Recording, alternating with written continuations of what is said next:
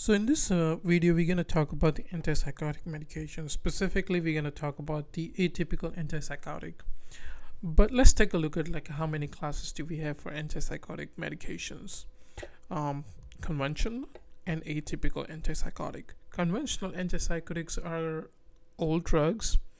Um, they were um, researched and invented about like quite a few years ago, while the antipsychotic medication, atypical antipsychotics, are newer newer drug to treat the psychosis.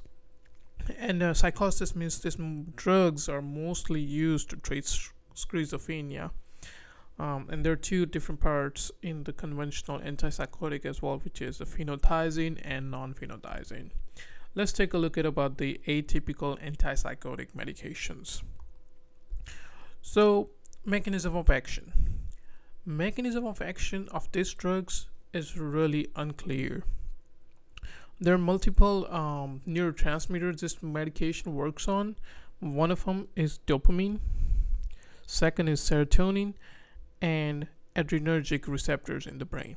So this medication will block dopamine serotonin and adrenergic receptors in the brain and this drugs helps in treating both positive and negative symptoms of schizophrenia. While we looked at the different types of antipsychotic medication like conventional and atypical conventional antipsychotic are mostly used to treat positive um, positive symptoms of the schizophrenia while these medications are used for positive and negative both. Now one of the things to remember when we take a look at the side effects of uh, this psychotic medication is dopamine. Dopamine is a neurotransmitter in the brain that works with the balance, uh, muscle movements, uh, and muscle coordination. Uh, brain will um, brain uh, in dopamine in the brain will coordinate all these muscle movements in our body. If there is a deficit of dopamine in our body, or in uh, excuse me, in our brain, then it will cause the incoordination. Our brain will not be able to think and coordinate all the muscle movements if there is a deficiency of dopamine. Now, this drug will block the dopamine, so you will see some side effects, um, like for the muscle um, coordination problems, um, gait problems, etc., etc. We'll we'll talk about that in slides. But just to think, just the main thing to remember about dopamine, it helps in muscle coordination and movements. So side effect of this medication is tachycardia. Now, um, this medication also blocks the adrenergic, so it will produce the effect like cholinergic, etc., etc., and it will also uh, blocks some of the cholinergic receptors, so it will cause the anticholinergic uh, side effects as well. Um, but tachycardia is the main one, sedation, dizziness. We'll talk about this neuroleptic malignant syndrome and extrapyramidal side effects in the in the next slides. Uh, it will increase the risk of CVA. It can cause the weight gain and obesity. It can cause diabetes. It can increase the triglyceride. Um, can cause the osteoporosis. Um, and one of the main side effects that people usually stop using this medication is decreased libido and menstrual disorder due to the increased prolactin level.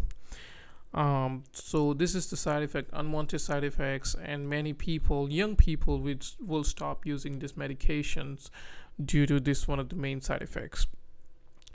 Uh, and can cause diabetes mellitus too, since this medication increases the um, increases the resistance uh, of insulin and um, medication affects the glucose metabolism.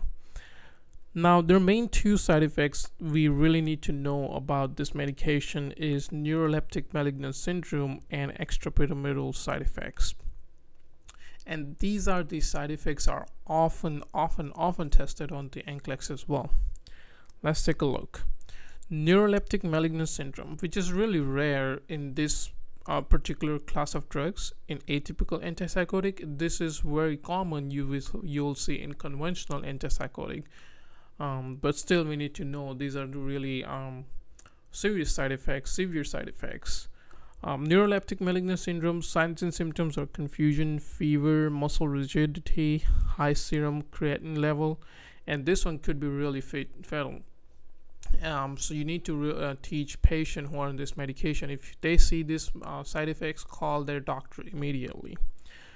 Um, there's some extrapyramidal symptoms as well. Now extrapyramidal symptoms um, are caused by block due to the blockage of dopamine receptors or dopamine neurotransmitter in the brain. As we talked like dopamine is really important in the coordination and muscle movements so these extrapyramidal symptoms are caused by blockage of dopamine neurotransmitter in the brain. The first one includes acute dystonia which is spasms of back muscles tongues and facial muscle. Akathisia which is inability to rest and relax. Um, they'll be doing repetitively movements like with the, with with their hands, their feet, or some kind of movements, and they cannot rest or relax. This is um, Parkinsonism.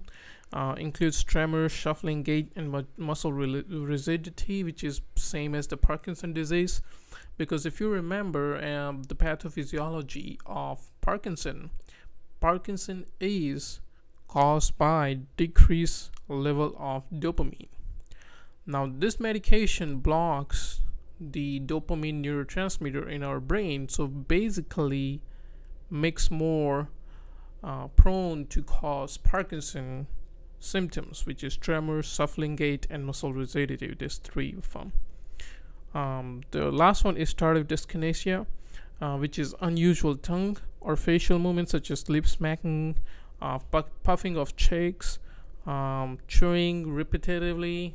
So some kind of tongue and facial movements they'll be doing repetitively, and I usually find um, hard to dis- distinguish between this tardive dyskinesia and akathisia because akathisia is also inability to rest or relax which could be lip, lip smacking, could be tardive dyskinesia. So this is really hard to differentiate and really often te- uh, examined on NCLEX, unfortunately. But you you really need to remember if it is the lip or facial due to tardive uh, tardive dyskinesia, and the rest of them is if they're doing repetitive movement with hand, legs, um, something like that, then go with the akathisia. Okay. Um, some of the examples of this medication is risperidone, quetiapine, olanzapine, clozapine, um, aripiprazole, um, ziprasidone, um, and paliperidone. Um, so this is uh, about the atypical anti atypical antipsychotic medication. Uh, if you have any questions, feel free to ask us. Um, and thanks for watching.